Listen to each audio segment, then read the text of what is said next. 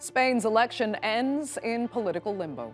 The Conservative People's Party won the most seats, but not enough to claim a majority. Both sides are now scrambling to build coalitions, with weeks of political wrangling ahead and the far right on the verge of power. Who will make it to the top? I'm Andrea Sanke, and today's newsmaker is Spain's election.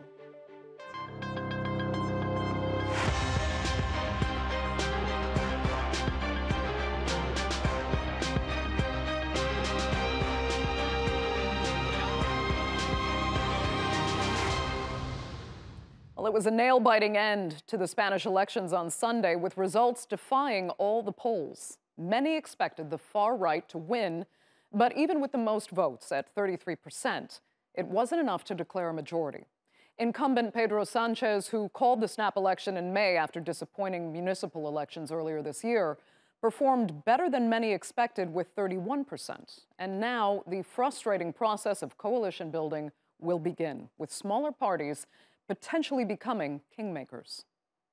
On the left, Sumar Party won 31 seats, while the far-right Vox Party won 33. Pollsters had predicted that PP and Vox together would get enough seats for a working majority as a right-wing bloc. While the socialists performed better than expected, both parties with their allies still fall short of the 176 needed meaning both Pedro Sanchez and PP leader Alberto Núñez Feijóo will be looking to even smaller parties to bolster their numbers, paving the way for drawn-out and potentially fruitless talks to form a government. As they both try to garner support, Feijóo had this message for his competition. Our obligation now is to avoid a period of uncertainty. Spaniards today have put their trust in the People's Party, they have also said that all the political parties across the parliament must have dialogue. And as the candidate of the party that has the most votes, I think that my duty is to open the dialogue, so I can lead this dialogue from the first minute, and to try and govern our country, accepting our victory in the electoral results. There has never been a prime minister of Spain who has governed after losing the elections. Well, in the weeks leading up to the vote, however, the conservative opposition party and radical Vox coalition saw some people worried. As the far right marches steadily across Europe, pollsters predicted Spain would be next. Pedro Sanchez says he stopped that. Those people who propose machismo, a regression on rights and freedoms, have failed today, and the backward looking bloc of the People's Party with Vox has been defeated. There are many more of us who want Spain to continue moving forward than pursuing the regression path of the People's Party with Vox. Now, it could be two months of political instability in Spain. If no government is formed, Spain could face repeat elections. In the four years leading up to 2019, the country went to the polls four times after parties could not form a government. And the people of Spain are conflicted as well. I was so afraid. I lived through the far right when I was young, and I do not want to remember it. This brings me huge happiness. The polls gave more to the PP, but well, we won the elections, which was very complicated as everything was against us. With the government and all its resources, I'm so happy. So, what does the future hold for Spanish politics with this inconclusive result? And what does it say about where Spaniards stand on key issues, including immigration and internal independence movements? Well, joining me now to discuss that are from Madrid, Luis Arroyo. He was a political advisor to former socialist Spanish Prime Minister Jose Luis Rodriguez Zapatero, and he is now the president of Advisors of Public Communication. And from Gijón, Spain, is Carlos Conde Solares, a senior lecturer in Hispanic Studies at Northumbria University. Thanks both so much for being with me. Uh, Luis, I'm going to start with you. Step back a little bit and tell us what was happening in Spain for pollsters to predict that the right would take this election, and, and why were they proven wrong? Well, uh, that's a good question. Um, the uh, the elections in Spain are are taking in a constituency that is the province, and we have uh, 50 plus two uh, provinces here in Spain. So that means that uh, making a good a good poll a good survey means pulling at least uh, uh, 52 uh, different constituencies. So that, that makes it uh, particularly difficult to, to anticipate the results. Uh, that's mm. probably one of the reasons. The second reason is that we had elections in May, uh, just two months ago, and the results were very, very nice for the right. That pollster probably pollsters probably thought that the same was going to happen in these general elections. And the third is that we had a wonderful campaign done, done by the by the left, uh, who adjusted the uh, previous uh, uh, anticipations by the right. So it was very difficult to to anticipate what what the result was going to be, um, and and here we are. Okay. But on the ground, you know, when you, when you look at the general Spanish public, and when we see the other movements toward the right, in Europe. We see people very frustrated with, you know, issues including, of course, immigration. Uh, in Spain, there's a huge issue with separatist movements. What was on people's minds mostly that kind of gave the feeling that, oh, Spain could turn not just to the right, but to the pretty far right? Uh, yes, we we of course have the the, in the, the independence of Catalonia as the big issue uh, here uh, right now for the right. We had also some some concerns on gay rights, for example, on uh, cultural cancellation. We had a couple of, of cases in the last uh, month uh, with regard to the suppression of certain con- content in in in in theater, in music, etc. So all of those things made made the left to react uh, uh, to not to permit the coalition between the Popular Party mm. and the extreme right uh, party Vox. Okay. Carlos, would you have identified kind of the same conditions, or were there other factors involved? Yeah, yeah, I broadly agree with uh, with Mr. Arroyo's uh, analysis in this case. It was uh, a campaign in which I think that the People's Party perhaps over relied on the data that was being produced by opinion polls, in particular uh, GAD uh, GAD3, the, the, the institute that uh, Narciso Michavila uh, runs. I don't know about uh, Mr. Arroyo, but what I tend to do when it comes to trying to predict uh, election results uh, in Spain is quite simply I look at the results of GAD3. Normally they are right, and on this occasion they were not. And uh, I think that that Mr. Arroyo is completely right to note that perhaps one of the reasons for this was that the uh, well, the regional elections that took place in in May um, through results that were very good for the People's Party, for uh, for the center right, but uh, crucially there were no elections in May in uh, Catalonia, and I think that this is the uh, this is the key factor here. Uh, I think that the main reason why the Socialist Party has done um, considerably better than expected is precisely because of the very strong result that Pedro Sanchez has had in Catalonia.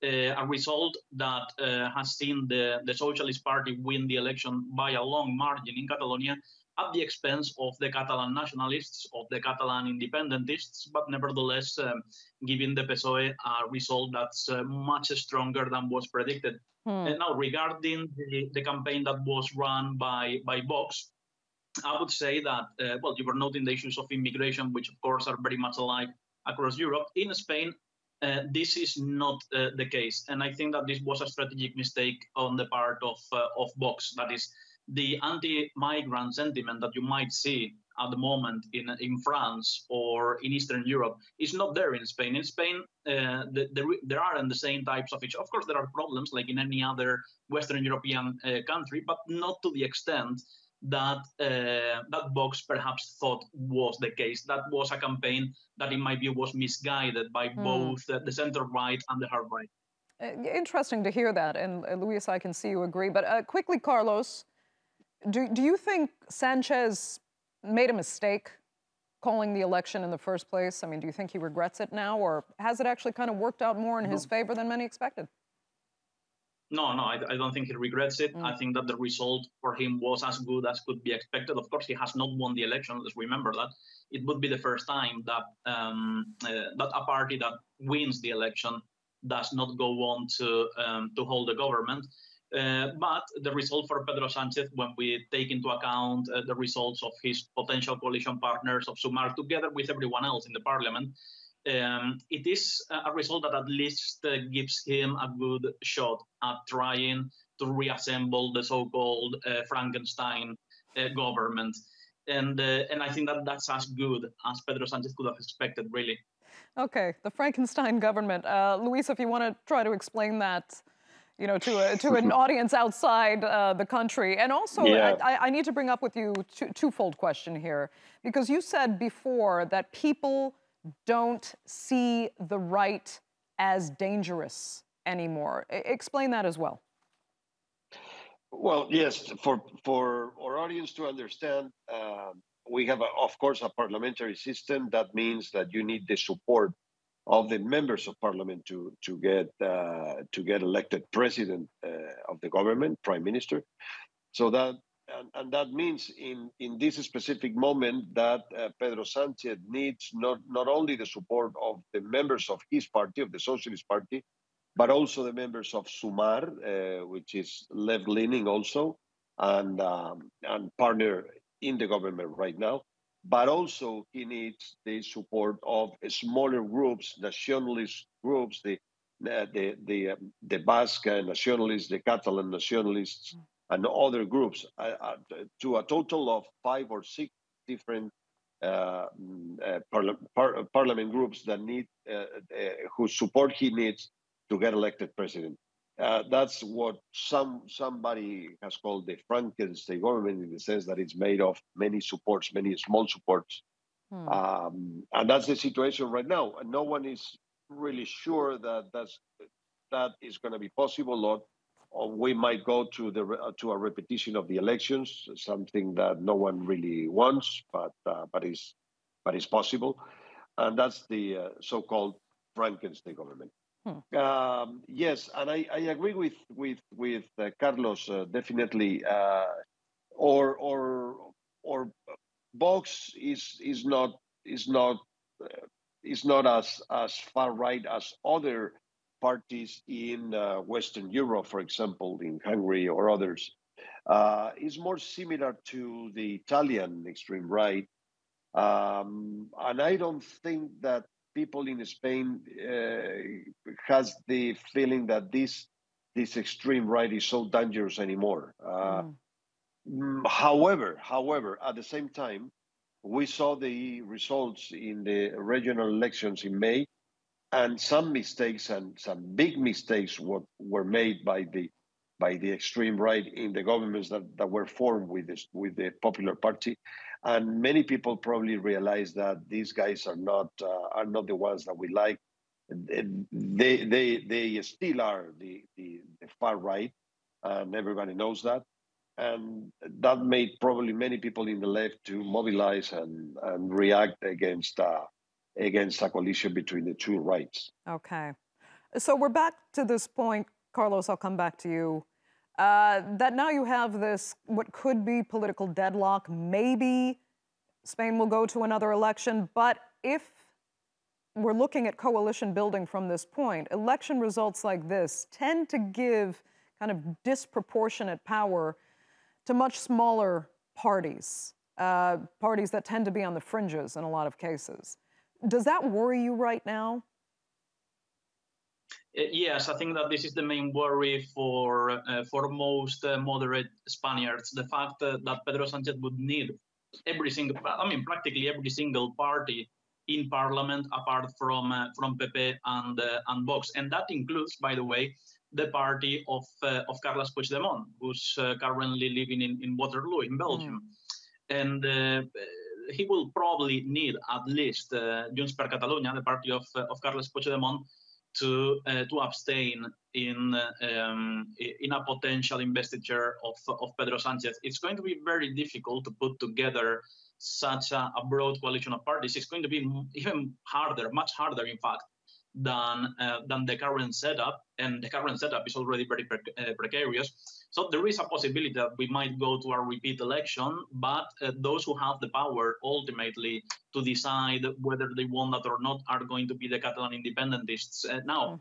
something else to bear in mind is that in early 2024 we are likely to have a Catalan regional election as well and this is something that will come uh, to play. That is the rivalry between the two camps in the Catalan nationalist um, spectrum between Esquerra Republicana and Junts per Catalunya, and uh, neither of them wants to be seen as a collaborator with the Spanish government. Uh, so because of that, I think that that's the last uh, hope really for the right that there is a repeat election and that somehow they do better than they did last time. But if there is a repeat election, and I think that this is going to open a very interesting scenario, I think that both uh, the Pepe and Vox will need to rethink their strategy quite radically, and they might even have to rethink their candidates as well. Very interesting. Um, but I mean, going back quickly, Luis, I just want to finish with this, um, you know, this, this scenario because we love to identify those so-called kingmakers in elections like this. Like we said, we're hearing that it could be Puigdemont and the Catalan separatists, maybe to a lesser extent, former Basque separatist parties. I shouldn't say former even in this case. Uh, they might hold the key, but that could all bode pretty well for Pedro Sanchez, who will remember pardoned several of them, nine to be exact, back in 2017. I mean, was that a smart strategy then, if you look in hindsight, to what he may have to look toward now in trying to form a coalition? It was it was uh, an intelligent strategy to to have the elections in advance uh, uh, from uh, May, I think. Secondly, uh, Pedro Sanchez was always was always very he wasn't very strong in terms of alliances around. He had always to get to a commitment between different political uh, political groups. The issue here is that the PP has only one friend, only one friend in Congress, which is which is Vox, which is the extreme right. Pedro Sanchez can, and the PSOE and the socialists can manage to have more friends than than, than the PP does, and that's that's the way it is. And Pedro Sanchez is being able, um, still, of course, not very strong, um, with lots of difficulties, but he is the only one right now that has that has the opportunity to manage those relationships with different parties that are important in Spain, small but important. Mm. But is that what the majority actually wants, or again, is it is it giving disproportionate influence to parties that are on the fringes? No, it, it is true. Our system, our system is very uh, unproportional. Uh, mm. It is mm. proportional in theory, but when you take into consideration the constituencies and the the, the D'Hondt formula that that is uh, using in the um, in the uh, in the distribution of the seats, etc. Our system is very disproportionate, but it's a, it's the system that is in our constitution since uh, 45, 50 years ago. So no one is going to change it right now. I mean, at least in the next uh, two or three months. But it's the it's, it's the system that we have. Mm. It, it, it, gives it gives lots of power to small constituencies, to small groups in the region in the regions. But that's the way it is. We're not going to yeah. change that in the next following. Spain's months. not alone there. I mean, this is how the democratic system in a number of countries actually works. But uh, let me come back to something, Carlos. I can return to you. Uh, Alberto Núñez Feijóo called this a period of uncertainty coming that he thinks Spaniards will have to suffer for. Oh, how, uh, what does he mean? Is he, is he overdramatic there, or is this just a little bit of fear on his part that he actually might not be able to form a coalition and his adversary might actually be able to do so? Or is this uncertainty really bad for Spain? Yes, I mean Alberto Núñez Feijóo's uh, speech yesterday night was uh, was very tense. Uh, the People's Party uh, had a result that was nowhere near what they thought they were going to have. They were even speaking of uh, of being close to an overall majority uh, by themselves. That, of course, did not materialize. And uh, I'm not sure we can take uh, his words uh, last night as an indication of what's to come. I think that um, that they came as a shock. The results came as a shock to him, a very negative one at that. And uh, I mean, even some of the of the moments in that uh, balcony in the in Alberto Núñez speech were very tense also because uh, because the crowds gathering around twice interrupted his speech to, to, to call for for Isabel Ayuso, his potential successor, who was also in the back, in the balcony. It was, I think, a pretty embarrassing moment for him as well. Mm. Um, the in terms of the uncertainty that's going to that's going to come, well, that much is clear. I think that there will be uncertainty as well when it comes to the leadership of the PP itself as well, and that's despite the, the, the clear improvement from 2019. The expectations were much higher for him And, uh, and, and to be honest, when it comes to the uh, to the uncertainty that both um, major parties speak about, they only have themselves to blame, frankly, because uh, if we are talking about how undesirable it is to form a coalition with the uh, with Vox or to form a coalition which involves the votes of Bildu, of the uh, of the independentist far left in the Basque Country, of the uh, Catalan independentists. Why don't uh, PP and PSOE just form a grand coalition? This is something that is not well understood abroad, and uh, really it's something that reflects pretty badly on both uh, on both parties. Mm. The fact that they don't see to find an agreement between themselves precisely in order to avoid uh, depending on those uh, on those minority parties. Uh, it is in their hands to do so, and they have never done it, and they won't do it. Mm, okay, Luis, do you think? I mean, it is. Oh, we seem to have just lost Luis. Luis, if you're there, the grand coalition yeah. that Carlos was referring to, is that an option that politically both parties are just kind of maybe too selfish to actually explore, even if it might work better for the Spanish populace? No. No? No one expects no one expects that big coalition right now. Uh, the, the, the, the two parties, the, the Popular Party and the Socialist Party, are, are the big adversaries uh, since the transition to democracy. Uh, they they they play together, they but, but against each other, and no one expects a big coalition the situation of the country is not in a in a in a crisis situation in which you really need a big coalition between between the two typical adversaries. We are the economy is growing quite well. Uh, we have social peace, so to speak. Mm, there, we have many problems, of course, but the sensation, the, the, the perception by the citizenry is that things go very well. There's no need for a big crisis coalition between the two parties. Mm. No one expects okay. that. Uh, let me ask you this then, Luis. Uh, who do you think uh, in the electorate is more disappointed in the figureheads of their parties? Is it the right disappointed with their so called leadership, or is the left? disappointed or right right now yeah yeah right now today right now today of course the left uh, excuse me the of right. course the right the right is is very disappointed. The expectations were were so high. Uh, Núñez Feijóo was already thinking of him as, as president of the government, as prime minister. He was talking even in public about the, the likely uh, ministers that, that he was going to have. Uh, so the, the, the, there's a deception, a clear deception right now. Uh, and on the contrary, uh, Sanchez uh, is Sanchez is right now much better than he was uh, yeah. two months ago, no doubt. Uh, so yeah, I mean, uh, Carlos, you're, you're nodding in agreement. Uh, you think uh, Feijóo was was embarrassed by his what could be seen as arrogance then to to be go as far ahead as to actually start choosing ministers, and only to lose absolutely and be booed by his own I people. I mean, the, the, the hubris of uh, on the part of uh, of Feijóo's campaign has been uh, has been worthy of a, of a Greek uh, tragedy, frankly. And uh, I mean, to the extent that uh, that Núñez Feijóo did not go to the final televised debate in uh, Radio Televisión Española just three days before the election, he decided not to go. Pedro Sánchez was there, Yolanda Díaz was there, Santiago Abascal was there, and he didn't go. And uh, I think the official excuse was that uh, that he had some type of, of, pain in his back, but the reality was that he was advised that he had already won okay. the election, and that therefore there was no point in him attending that debate.